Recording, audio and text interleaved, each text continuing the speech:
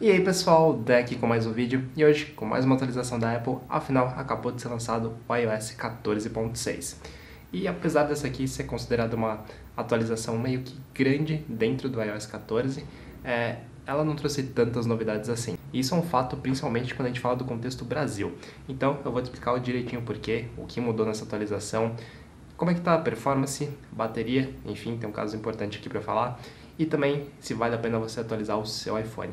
Mas como sempre, antes já se inscreve aqui no canal deixa o seu like aqui para mim que ajuda bastante o canal. Então, qual que é aqui essa, entre aspas, grande novidade para ter lançado o iOS 14.6?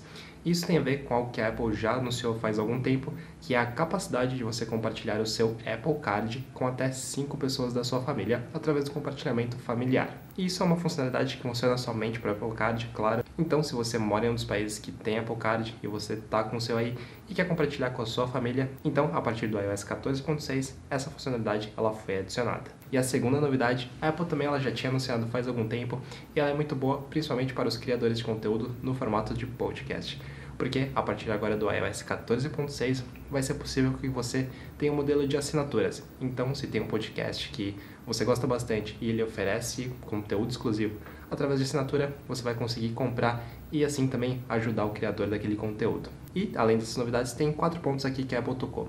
O primeiro deles tem a ver com AirTags. Então, quando você entra no modo de perdi minha AirTag, ao invés de você ter que colocar o seu número de celular, você vai ter a opção de colocar o seu e-mail. E quando você estiver nesse modo, putz, perdi minha AirTag, alguém foi lá escanear a sua AirTag para devolver ela, então o seu número vai aparecer mascarado e vai aparecer ali o seu e-mail como informação principal para a pessoa entrar em contato com você. E o segundo ponto aqui agora tem a ver com acessibilidade. Então, para quem usa o Voice Control, para comandar o seu iPhone, é, depois que você reiniciar ele, na primeira vez que você for desbloquear, o desbloqueio via voz será possível. E dos quatro, os dois últimos pontos que eu mencionei aqui, um deles tem a ver com correções de segurança, e a Apple normalmente não dá muito detalhe sobre isso, mas tivemos várias correções de segurança, e o outro é a resolução de alguns erros comuns que estavam acontecendo com muita gente dentro do iOS. Agora, o primeiro erro que a Apple corrigiu tem a ver com uma funcionalidade que foi adicionada nas últimas versões e começou com até com um problema de segurança, que é a questão de você desbloquear o seu iPhone utilizando o Apple Watch.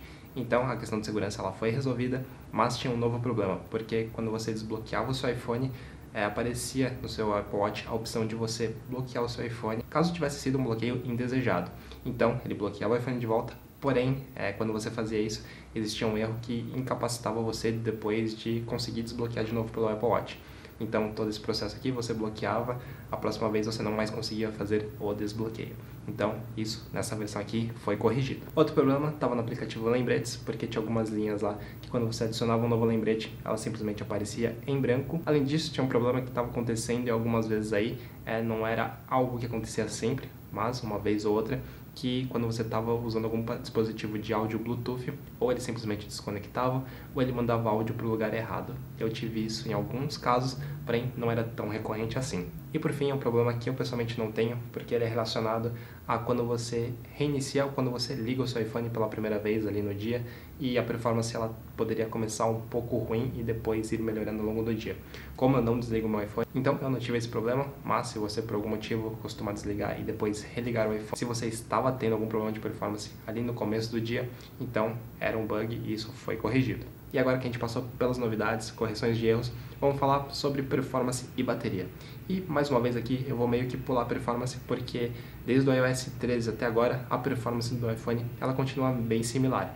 É claro que eu estou tendo um problema que ele está sendo sim recorrente desde o iOS 14.2 ou 3, enfim, já faz um tempinho aí que eu atualizo meu iPhone, ele fica muito bom e depois passa alguns dias aí, algumas semanas até, e eu sinto que a performance ela começa a travar e pode ser alguma coisa, como eu já falei, de gerenciamento de memória, mas ao longo do tempo é, a performance ela tem dado uma piorada.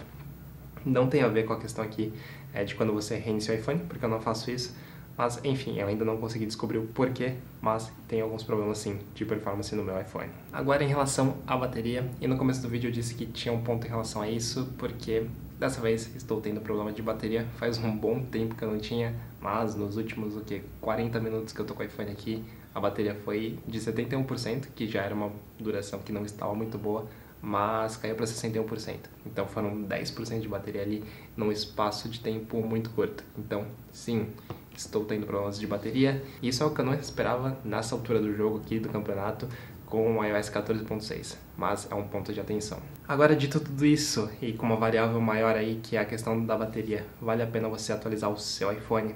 E aqui a minha questão é a seguinte, o iOS 14.6 ela não traz tantas novidades assim, é, principalmente no Brasil, se você mora em algum outro lugar. E o que eu falei aqui para você faz sentido para você atualizar, seja porque você tem um Apple Card e você quer compartilhar com a sua família, então vale super a pena.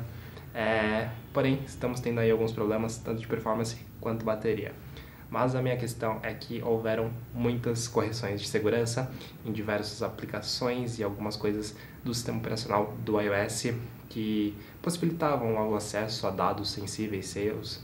Então, assim, dada a grande questão de segurança que tem atrelada aqui, que foram muitas, muitas coisas mesmo, é, eu ainda acho que vale a pena tá? E daí o que dá para fazer é tentar mitigar aí as questões de bateria principalmente. Então eu vou tentar reiniciar aqui meu iPhone, vou tentar fechar todos os aplicativos, foram coisas que eu ainda não fiz e de maneira geral vou tentar dar uma solução para essa bateria que está caindo. O que pode acontecer também é que nas primeiras 24 horas, eu já mencionei faz algum tempo isso nos vídeos, é que o iPhone ele passa por um processo de reindexar tudo que tem no seu iPhone para tentar otimizar alguma coisa. Então pode ser normal que no começo tenha essas quedas grandes de bateria. Então isso é algo que eu vou ter que observar um pouco mais, mas a princípio eu estou tendo problema, mas pode ser temporário. Então é isso. Dado muitas questões de segurança, sim, eu recomendo que você atualize seu iPhone, mas sempre fica aí o ponto de atenção. É, principalmente se você é muito, muito dependente para seu trabalho, ou seja, pelo e que você não consiga ter muito tempo para recarregar, é, como eu, por exemplo, estou de home office, para mim isso deixa de ser um problema. Eu posso passar a maior parte do tempo com ele plugado, então, enfim, não é impeditivo para mim.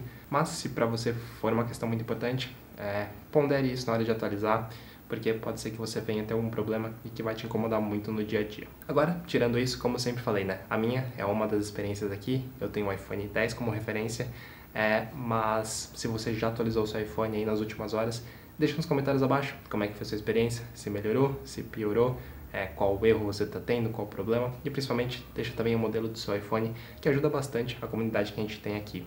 E é isso, é, deixe seus comentários com seus problemas também, que eu tento responder a maioria de vocês que eu consigo, principalmente na primeira hora depois que eu posto, eu dedico um pouco mais desse tempo para isso. E é isso, se esse vídeo aqui ajuda você, deixa o like aqui pra mim, se inscreva no canal como sempre e até a próxima. Fui!